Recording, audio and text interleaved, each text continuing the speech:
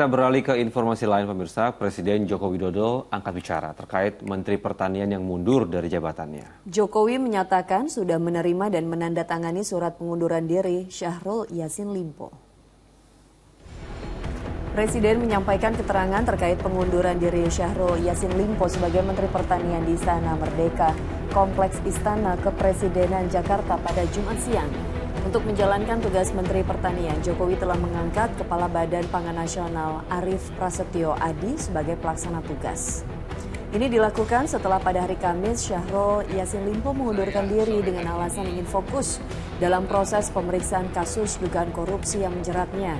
Sebelumnya, politikus Nasdem itu mengantarkan surat pengunduran diri ke Mensesnek Pratikno. Saya sudah di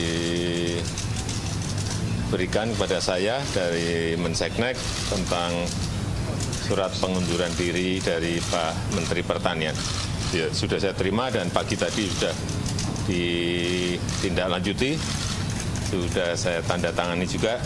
Penggantinya eh, masih PLT, PLT-nya Pak Arif, Pas, Arif Prastio.